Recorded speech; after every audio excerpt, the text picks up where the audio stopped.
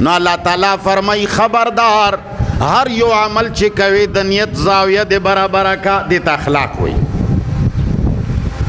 چا سره لاس ملاوي د دنیا په غرض مې ملاو د آخرت په غرض ملاو کا دې کې به بیا دا فائدې چې تبه आवाज په جن ګلو باندې سلام نه چي په هر چا بیا چي چې مقصد د کله ثواب د آخرت بیا به دې ته نه ګوري چې دا پیژنم دا نه پیژنم اوس خو ستا غرض دنیا ده نو چې څوک پیژنې غېږه ور سره میلاو کې او څوک نه پیژنې مخ دې داسې وي لاس ور سره میلاو کې دا ته دنیا غواړي کچره ته ورځ د آخرت غواړي نو بیا به ته دا فرق نه کوي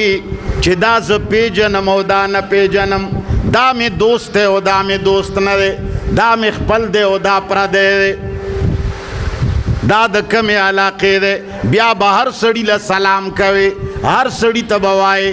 چیرې جی د چیو ټیم دی راځه چې یو ګوټ چای وڅکو د روټې ټیم د کروټې دی نه خړلی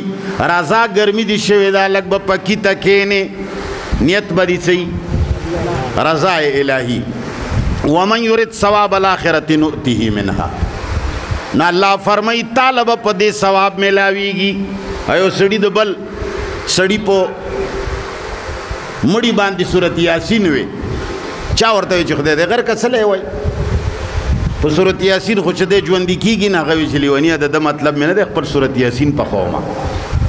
نو دارنګ بس تا بیا مقصد د خلکو خوشالول نه ته خپل سورت یاسین په خوي هغه څه شی ثواب به ګټي تاله به بیا څوک وای یره چې دا خو پلان کیږي کې تا په سکنځلې کړي څوک به درته وای چې دا خو ټول ورځ وجرو کې ستا بد وای ته به ورته وای چې زما دې سره کار نشته چې دې څوک دی زه خپل صورت یاسین په خوم الله تعالی په مخ کې خپل ثوابونه ګټم ما لاس په دې نه دی ورکړی چې دا ښه سړی دی او زما به په کار راشي ما دې د پاره د لاس ورک ست مې ولو که چې د الله حکم دی او ما ته په ثواب ملاو شي دې ته ویل کېږي اخلاص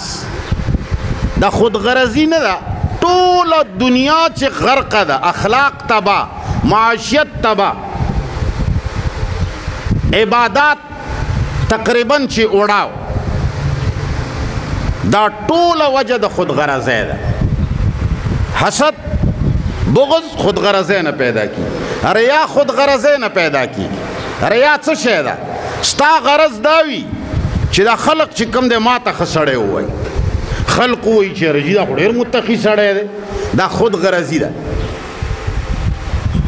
اخلاص څه شی دی اخرت غرضی اخلاص وای دیتا چې ته هیڅ یو شی دلته نقد د ځان د پاره نه غواړي صرف اخرت کې غواړي او مقصد دې سوي د الله رضا اخرت ملاويږي د الله پر رضا باندې